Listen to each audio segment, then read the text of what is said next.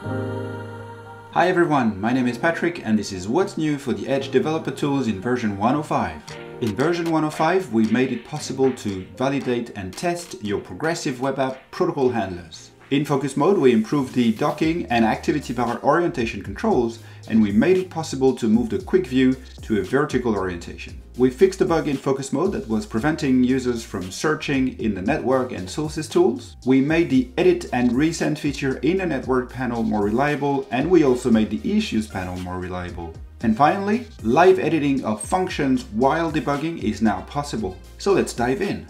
First up, protocol handling in PWAs. The ability for a PWA to handle a protocol was added in version 96. It makes it possible to automatically launch your PWA whenever a URI with a specific scheme is used. And now with version 105, the application tool in DevTools makes it possible to validate and test your protocol handlers. In the application tool, expand the manifest section and choose protocol handlers. The tool will detect whether your application has a valid protocol handler or not. You can then test it by entering any URI you need and choosing the protocol that you define and then clicking the test protocol button. This will launch your PWA automatically, making it much easier to test your code.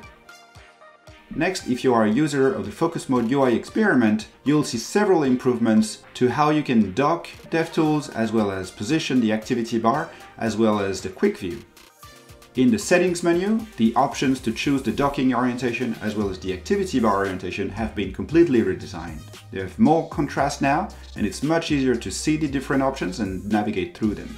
Additionally, we've added a way to switch the orientation of the quick view as well. Click the Dock Quick View to the right button in order to see two tools at once side by side in a vertical orientation. Next, also in focus mode, we fixed a search bug. Previously, the search feature in the network tool and the sources tool didn't work as intended if you were using focus mode. In version 105, this has now been fixed and you can search your network resources as normal by pressing Ctrl F or clicking the search button. And in the sources tool, the search in all files contextual menu works as normal now as well.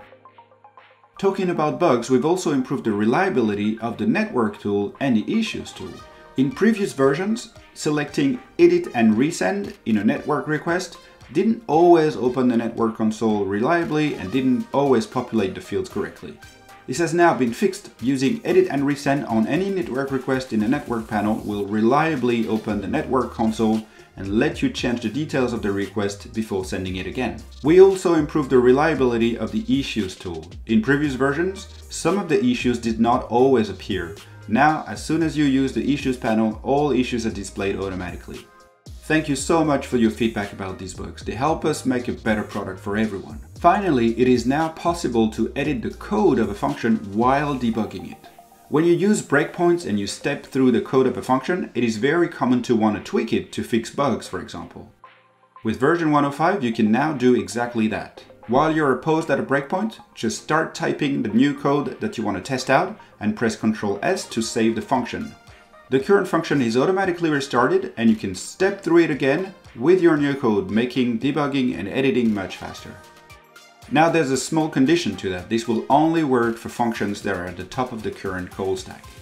That's it for what's new in Microsoft Edge 105, but before wrapping this up, here's a quick tip. If you like using logs to debug problems in JavaScript, did you know that you can actually add log statements to your code without editing the real code? Open the sources tool, find the file and the line where you want to add the log, right click on the line number and choose add log point. You can then enter your message and you can even use variables and JavaScript expressions in that field and press enter.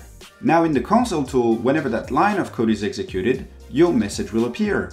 No need to edit your real files, save them back to disk and reload the page. You can add, remove and toggle these log points just like other breakpoints. And that's it for today. If you have ideas, feedback or bugs you want to report, Join our community at github.com slash Microsoft Edge slash DevTools. Be sure to follow us on Twitter at MSEdgeDev and like and subscribe if you want to stay tuned for what's coming next with version 106.